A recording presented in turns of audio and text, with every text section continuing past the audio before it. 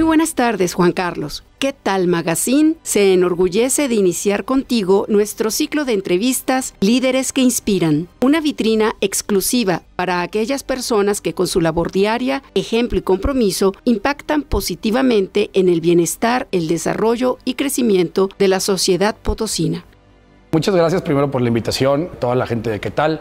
Estoy muy contento de estar aquí con ustedes en esta entrevista. Tengo muchas ganas de participar en este nuevo proyecto de la revista. Coméntanos quién es Juan Carlos Valladares.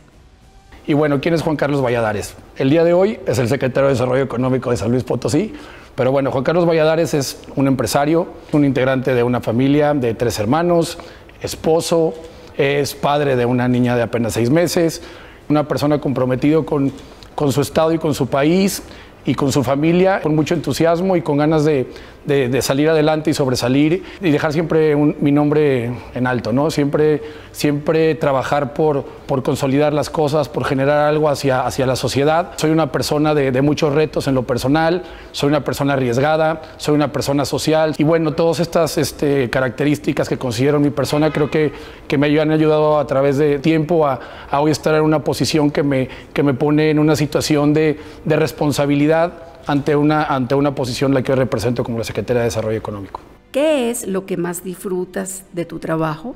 Es un constante eh, aprendizaje para mí. Yo llego a, a este trabajo sin antes haber participado dentro de la función pública. Es un reto cada día, todos los días surgen cuestiones distintas, cuestiones donde siempre soy muy, muy transparente en decir que yo llego aquí, pues sí con una base como empresario, pero al aprender día a día sobre la función pública. ¿no? A mí me, me, gusta mucho el aprender, me gusta mucho el participar en cuestiones que tengan que ver con mi entorno, me encanta relacionarme, creo que dentro de, de la función pública es una posición donde, donde existe mucho la relación empresarial que a mí me gusta muchísimo y creo que esto lo disfruto, ¿no? El aprender eh, creo, que, creo que es algo que, que, me genera a mí mucha motivación porque me hace ser una persona cada vez más, más fuerte y con mayor visión ante, ante lo que venga en, en corto y mediano plazo hacia mí, ¿no?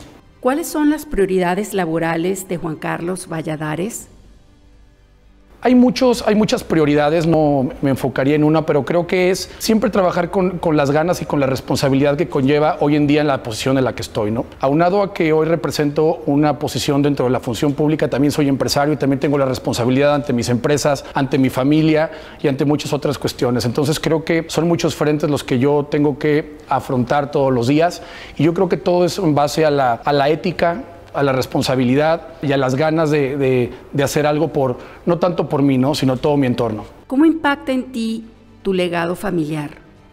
Lógicamente el llevar este, el apellido de mi familia, la trascendencia, las generaciones de, trabajo y de esfuerzo de mi padre, de mi abuelo, pues lógicamente me hacen tener una mayor responsabilidad en frente de tanto de empresa y ahora dentro de, del gobierno. ¿no? Creo que la lupa está más puesta en mí y en mis movimientos que pudiera hacer y eso me genera a mí mucho más trabajo, mucho más enfoque pero eso también me hace a mí ser una persona mucho más estructurada, ¿no? Y sé que, que, no puedo cometer errores, sé que tengo que ser lo más transparente, lo más ético, lo más responsable dentro de mi trabajo, porque tengo el apellido de mi familia atrás, ¿no? Y la verdad es que no es que pese, pero sí es que me genera una responsabilidad muy grande por la trascendencia que han tenido este, tanto mi abuelo como mi papá en el ámbito empresarial, mi abuelo en el ámbito también de la función pública, fue alcalde. El papel que hizo mi abuelo como alcalde es algo que dejó la vara muy alta y que, bueno, Dios quiera y en algún punto este, tener mi nombre también tan alto como lo dejó mi abuelo. ¿Existe el equilibrio perfecto entre trabajo y familia? Yo creo que sin este equilibrio es muy difícil triunfar de un lado o de otro. Yo creo que de esto parte de que los grandes empresarios, los grandes funcionarios públicos y los grandes integrantes de una familia, tanto en mi posición como padre, como hermano, como hijo, creo que tiene que haber un equilibrio siempre, ¿no? Y creo que, que desde que entré aquí, aunque la carga de trabajo fue fue distinta a lo que yo estaba acostumbrado, pues siempre marcar este equilibrio que no, por una cosa tienes que eh, abandonar la otra, ¿no? Entonces, creo que todo parte de este equilibrio. Sin este equilibrio, difícilmente se, se, llegará a ser una persona de éxito, ni en lo familiar, ni en lo empresarial, y mucho menos dentro de la función pública. Yo... Descríbenos un día perfecto para ti. Todo parte de, cómo te levantas en un día. Todos yo creo que tenemos días que desde el primer momento no tienes la actitud con la que quisieras estar, pero yo creo que todo empieza con eso, ¿no? Con una actitud positiva, una actitud donde disfrute lo que esté haciendo, ya sea mi trabajo, ya sean mis amigos. Soy una persona muy social, disfruto muchísimo de mi familia, de mis primos, de mis papás, de mis amigos. Es algo que a mí me nutre mucho, ¿no? El tener estos tiempos libres y disfrutarlo con ellos. Pero al mismo tiempo también soy un, soy un apasionado del trabajo, soy un apasionado del emprender, del crecer, soy ambicioso. Entonces todo esto de algún modo también complementa mi día en mucha motivación. Ahora que estoy de lleno en un trabajo que desconocí en su totalidad, el levantarme todos los días y saber que voy a enfrentar con tantas cuestiones que desconozco y que serán para mí un reto, entonces todo eso también me genera una motivación extra y eso complementa mucho para, para que sea un buen día para mí. ¿Qué es el éxito para Juan Carlos Valladares? El éxito en mí no va en cuestiones materiales, no va en cuestiones de ego, no va en cuestiones de este tipo, ¿no? Yo creo que el éxito está en, sentirte pleno, ¿no? En sentirte pleno, el ser tú, el entender dónde estás parado, el entender hacia dónde vas, lo que estás haciendo no afecte a tu familia, no afecte a tu negocio, no afecte a la sociedad. Creo que eso es el éxito, ¿no? Ir trascendiendo, ir dejando huella, ir dejando el nombre y que la gente te voltee a ver y que diga gracias en algún punto, porque son cuestiones que, que motivan. ¿En qué o quién te inspiras?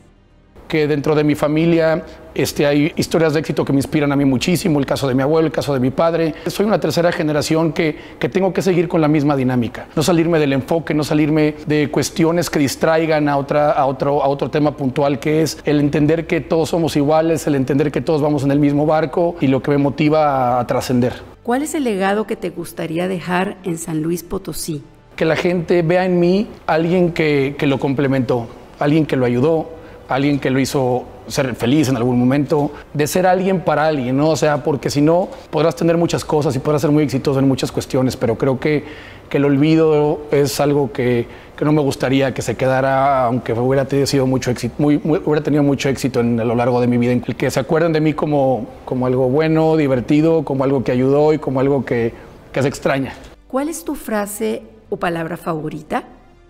Tengo muchas frases, ¿no? Tengo muchas frases que de repente, dependiendo mi día y mi humor, voy cambiando, pero creo que todo está en, la actitud, porque actitud ante todo, ¿no? Actitud ante las cosas buenas, actitud ante las cosas malas, y esa actitud positiva y ese positivismo que, que ayudaría al mundo a cambiar el chip en cuestiones de todo tipo. Todos tenemos momentos malos, pero yo creo que el afrontarlo siempre con madurez y con, con positivismo, porque la vida es complicada al final del día, ¿no? Y ese positivismo que se, que se genera día a día con trabajo en el interior de cada quien, disfrutando lo que se hace y todo este rollo, creo que es una de mis palabras, no es tanto una frase, no es una palabra, porque a mí eh, el tema actitud se me hace todos los días afrontarlo. No, muchísimas gracias, saben que los quiero mucho a toda la revista, a todo el, el medio y bueno, pues agradecidos de que me hayan invitado y ser parte de, de, este, de este espacio tan importante para, para todos. Muchas gracias.